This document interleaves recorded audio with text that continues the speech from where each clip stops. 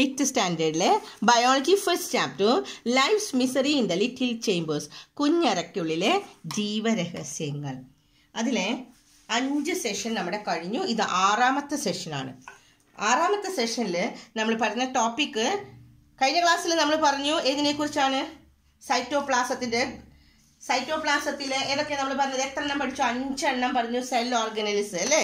Cell organise അതിന്റെ parts ഒക്കെ അടയാളപ്പെടുത്താനും അതിന്റെ യൂസസും എല്ലാവരും പഠിച്ചു കഴിഞ്ഞില്ലേ ഇപ്പോൾ ഇനി അടുത്ത് നമ്മളിവിടെ പറഞ്ഞു മൈക്രോസ്കോപ്പിന്റെ സിമ്പിൾ മൈക്രോസ്കോപ്പ് കഴിഞ്ഞു കോമ്പൗണ്ട് മൈക്രോസ്കോപ്പ് കഴിഞ്ഞു. ഇപ്പം എത്രയാണെന്ന് പറഞ്ഞു? ഇപ്പം ഏത് മൈക്രോസ്കോപ്പാണ് ഇലക്ട്രോൺ മൈക്രോസ്കോപ്പുകളാണ് ഉപയോഗിക്കുന്നത്.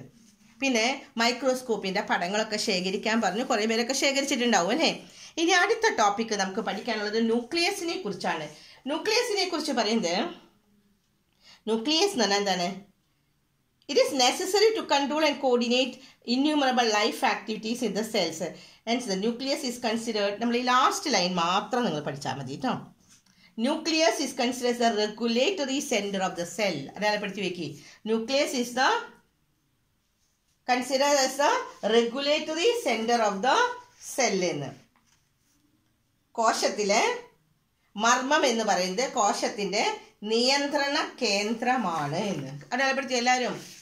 നിയന്ത്രണ കേന്ദ്രമാണ് മർമ്മം. ഇനി അടുത്ത പേജിലാണ് നമ്മൾ ന്യൂക്ലിയസ്. ഇതാണ് ന്യൂക്ലിയസിന്റെ പടം ഇവിടെ തന്നിട്ടുണ്ട് കേട്ടോ. ഇനി അതിനെ നമ്മൾ ശരിക്കും അതിന്റെ പാർട്സ് ഇതും നമ്മൾ അടുത്തത് പടം വരയ്ക്കാൻ പഠിക്കണം പാർട്സ്. കഴിഞ്ഞ് നമ്മൾ പറഞ്ഞു പ്ലാൻ സെല്ലിനെ കുറിച്ച് അല്ലേ? പ്ലാൻ സെല്ല് പറഞ്ഞു ഇത് ന്യൂക്ലിയസ് ന്യൂക്ലിയസിന്റെ പാർട്സ് ശരിക്കും അടയാളപ്പെടുത്താനും കിട്ടണം അത് വരച്ചടയണം. അടുത്തത് പിന്നെ പറഞ്ഞ കൂടി പ്ലാൻ സെൽ കഴിഞ്ഞാൽ ആനിമൽ സെല്ലും കൂടി ഉണ്ട് കേട്ടോ പടം വരാതിൽ പഠിക്കാനായിട്ടുള്ളത്. അപ്പൊ നോക്കാം ഈ ടോപ്പിക്കിൽ നമുക്ക് പഠിക്കാനുള്ളത്. എത്ര ഉണ്ട് ഇവിടെ? അഞ്ച് പാർട്സ് ആണ്. ന്യൂക്ലിയസിന്റെ അഞ്ച് പാർട്സ് ഇത് പഠിക്കുക അതിന്റെ ഫങ്ഷൻസും ബൈ ഹാർട്ട് ചെയ്യണം. അപ്പോൾ ഓരോന്നായിട്ട് ഞാൻ പറഞ്ഞുതരാം. ഫസ്റ്റ് വൺ ഇവിടെ. മർമ്മദ്രവ്യം ന്യൂക്ലിയോപ്ലാസം ഫസ്റ്റ് വൺ എന്താണ്? ന്യൂക്ലിയോപ്ലാസം എന്ന് പറഞ്ഞാൽ മർമ്മദ്രവ്യമാണ്. എന്താണ് ന്യൂക്ലിയോപ്ലാസം എന്ന് പറഞ്ഞാൽ? It is the fluid part കണ്ടോ? ഇതിന്റെ ഉള്ളിലുള്ള ഈ ഫ്ലൂയിഡ് പാർട്ടില്ലേ അതിനെയാണ് അല്ലേ? ഈ ഫ്ലൂയിഡ് പാർട്ട് ഫ്ലൂയിഡ് എന്ന് പറഞ്ഞാൽ എന്താണ്? ദ്രാവകം. മർമ്മത്തിനുള്ളിലെ ദ്രാവക ഭാഗത്തിനെയാണ് ഫ്ലൂയിഡ് പാർട്ടിനെയാണ് നമ്മൾ എന്തെന്ന് പറയുന്നത്? ന്യൂക്ലിയോ പ്ലാസം കിട്ടിയോ ഫസ്റ്റ് ലൈൻ എല്ലാവർക്കും? പഠിച്ചെന്താ it is the it is the fluid part of the nucleus ന്യൂക്ലിയസിന്റെ fluid പാർട്ടിനെയാണ് നമ്മൾ എന്തെന്ന് പറയുന്നത്? ന്യൂക്ലിയോപ്ലാസം ഇനി nucleus and chromatin reticulum are seen here ഇതിൽ എന്താണുള്ളത്? രണ്ട് കാര്യങ്ങളുള്ളത്. ന്യൂക്ലിയസും ക്രൊമാറ്റിൻ റെറ്റിക്കുലം. അത് രണ്ടാണ് ഇതിലുള്ളത് എന്ന് മർമ്മകവും ക്രൊമാറ്റിൻ ജാലി ജാലകവും ഇതിൽ കാണപ്പെടും. ജാലികയും ഇതിൽ കാണപ്പെടുന്നു എന്ന്. കിട്ടിയോ? അപ്പോൾ ഒന്ന് പറഞ്ഞ ഫസ്റ്റ് വൺ എന്താണ്? ന്യൂക്ലിയോ ന്യൂക്ലിയോപ്ലാസം.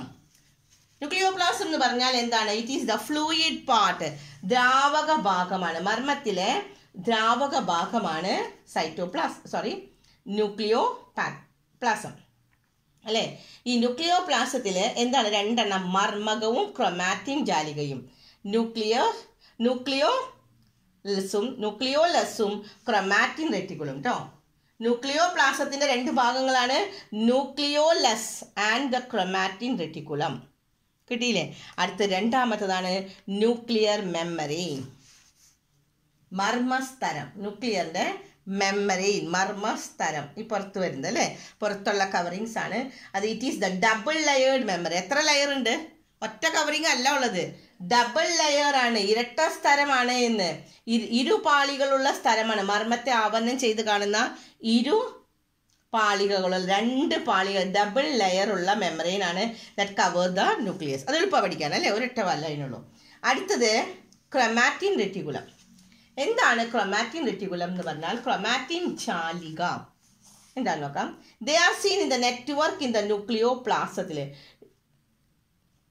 ന്യൂക്ലിയോ പ്ലാസത്തിലുള്ള ന്യൂക്ലിയോ പ്ലാസത്തിന്റെ ഉള്ളിൽ ചെറിയത് കണ്ടോ seen the network in the nucleoplasm the carry gene ജീനുകളെ carry ചെയ്യുന്ന. എന്താ ജീനുകൾ എന്ന് അറിയില്ലേ മർമ്മദ്രവ്യത്തിൽ വലക്കണികകൾ പോലെ വലകൾ പോലെ കെട്ടുപിടിഞ്ഞ് കെട്ടുപിടിഞ്ഞ് എടുക്കണില്ലേ കെട്ടുപിടിഞ്ഞ് കാണപ്പെടുന്നതാണ് ക്രൊമാറ്റിൻ ജാലിക.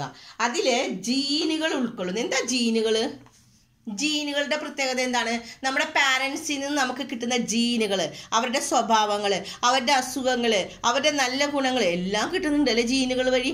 ആ ജീനുകൾ വഴി പാരൻസിൽ നിന്ന് നമുക്ക് കിട്ടുന്നതാണ് അത് ജീനുകളാണ് കൊണ്ടുവരുന്നത്. ആ ജീനുകൾ ഉൾക്കൊള്ളുന്നത് ഈ ഏതിന്റെ ഉള്ളിലാണ്? ക്രൊമാറ്റിൻ റെറ്റിക്കുലത്തിലാണ് എന്ന്. കിട്ടിയ? മൂന്നെണ്ണം കഴിഞ്ഞില്ലേ? ഇനി ഇവിടെ നോക്കാം. ന്യൂക്ലിയോലസ്. എന്താണ് ന്യൂക്ലിയോലസ് എന്ന് പറഞ്ഞു കഴിഞ്ഞാൽ?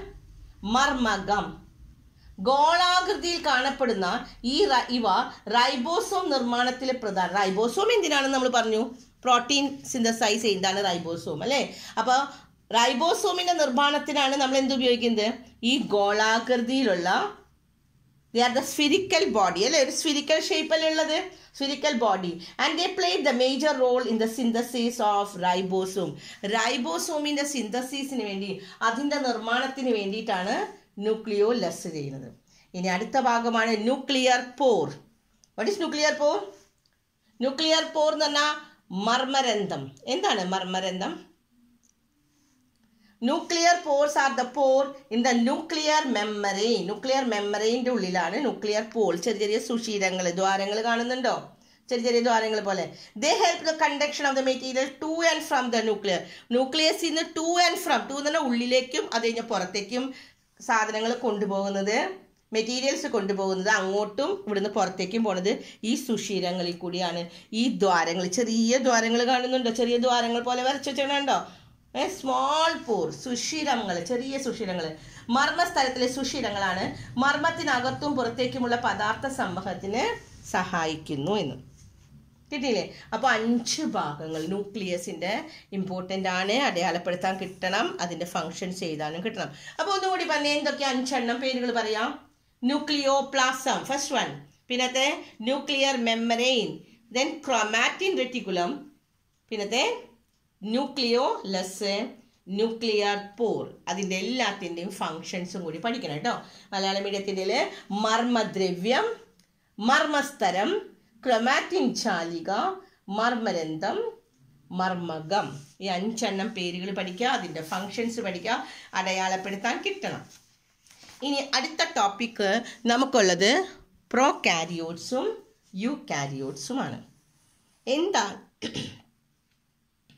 സോറി പ്രൊകാരിയോട്സ് യുകാരിയോട്സ് എന്താണ് പ്രൊക്കാരിയോട്സ് എന്ന് പറഞ്ഞാൽ in the cell of the bacteria നോക്കാം പിന്നെ cyanobacteria and the mycoplasma no nucleus CC നമ്മൾ പറഞ്ഞു എല്ലാ സെല്ലുകളിലും എന്താണ് കോശങ്ങളിൽ എന്തുണ്ട് മർമ്മമുണ്ട് എന്ന് അല്ലേ സെല്ലുകളിലൊക്കെ എന്തുണ്ട്?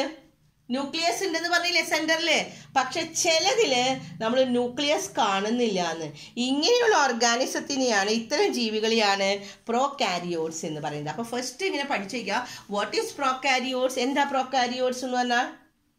In the cell organs which does not have nucleus nucleus ഇല്ലാത്ത സെൽ ഓർഗൻസിനെയാണ് നമ്മൾ എന്തെന്ന് പറയുന്നത്? പ്രോ കാരിയോഡ്സ് അതിന് എക്സാമ്പിൾ ആണ് ഇവിടെ തന്നിരിക്കുന്നത്. ആരൊക്കെയാണ്?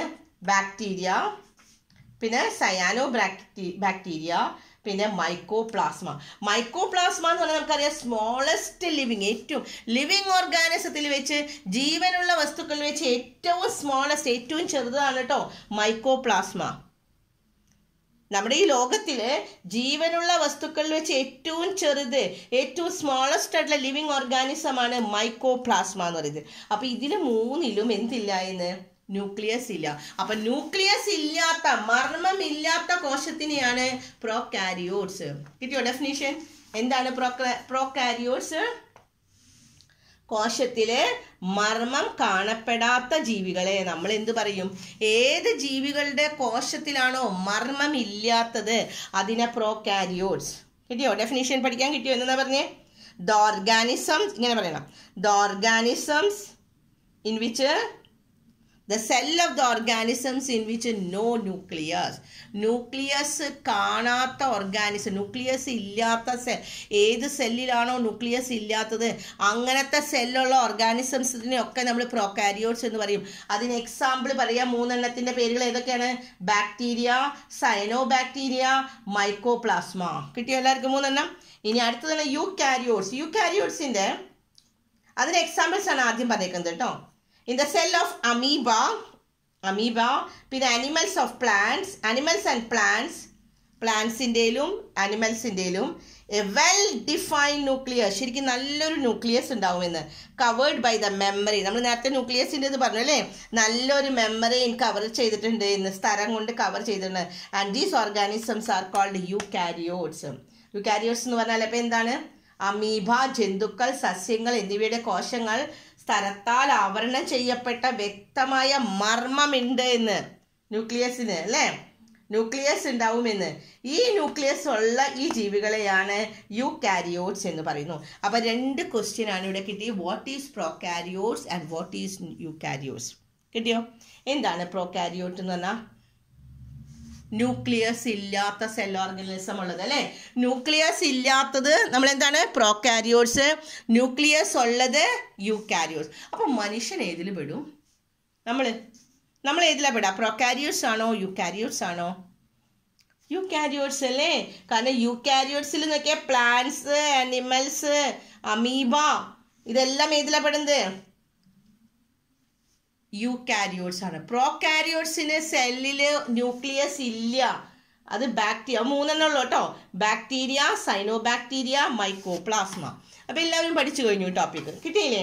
ഏതൊക്കെയാണ്? പ്രോ കാരിയോട്സും യു കാരിയോട്സും ഇനി അപ്പം നമ്മൾ ഇന്ന് പറഞ്ഞു വന്നത് ഏതിനെ കുറിച്ചൊക്കെയായിരുന്നു നമ്മൾ ന്യൂക്ലിയസിനെ കുറിച്ച് പറഞ്ഞു. ന്യൂക്ലിയസിന്റെ പാർട്സ് നമ്മൾ പഠിച്ചു കഴിഞ്ഞു അല്ലേ? പിന്നെ ഇവിടെ ന്യൂക്ലിയസ് ന്യൂക്ലിയസിന്റെ അഞ്ച് പാർട്സ് ഏതൊക്കെയാണ് അഞ്ച് parts nucleoplasm nuclear membrane chromatin reticulum പിന്നെ ന്യൂക്ലിയർ പോർ ദെൻ ന്യൂക്ലിയോലസ് ഈ അഞ്ച് പാർട്സ് ഇത് പഠിക്കുക. അത് കഴിഞ്ഞാൽ പ്രോകാരിയോട്സ് കാരിയോസ് ഇനി ഇവിടെ ഇതും കൂടി നമുക്ക് പഠിക്കാനുണ്ട് കേട്ടോ ഇന്ന്. ഇതും കൂടി പഠിക്കുക. ബയോ മെമ്മറീൻസ് എന്താണെന്ന്.